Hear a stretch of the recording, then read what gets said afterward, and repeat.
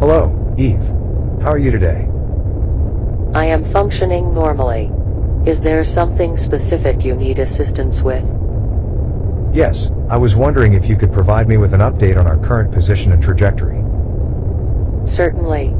Our current coordinates are x 123.456, y 789.012, z 345.678, and we are on track to reach the planet Mars in approximately 200 days. Thank you for the update, Eve.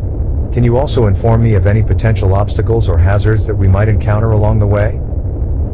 Based on the data from our sensors, there are currently no known obstacles or hazards along our planned trajectory. However, I will continue to monitor the situation and alert you if anything changes. That's reassuring. Can you also initiate a systems check to ensure everything is functioning properly? Of course. I will run a diagnostic check of all systems and components and report back with any issues or anomalies. Thank you, Eve. Your assistance is much appreciated. Can you please put me in hibernate sleep mode?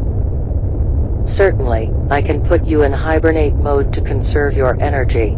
Before I do that, please ensure that you are in a safe and comfortable position.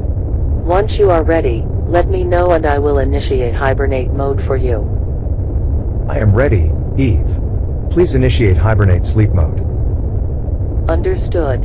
Initiating hibernate sleep mode. Your vital signs are stable, and all systems are functioning properly. I will continue to monitor your condition while you are in hibernate mode. You can wake up by issuing a voice command or pressing a designated button. Sleep well.